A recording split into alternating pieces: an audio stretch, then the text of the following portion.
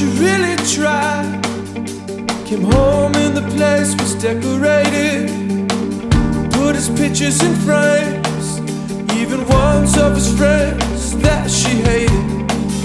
She smiled from the couch and waited for him to come over.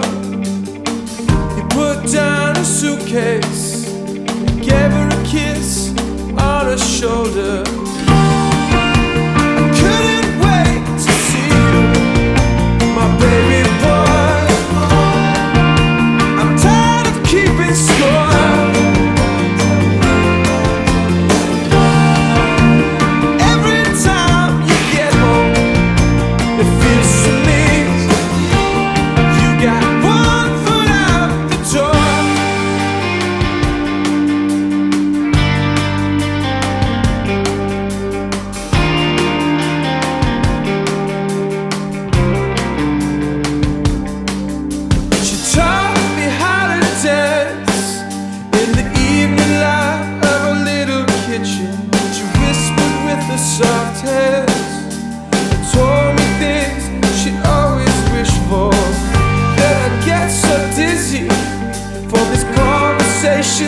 Go in circles. I'm sick of walking in into rooms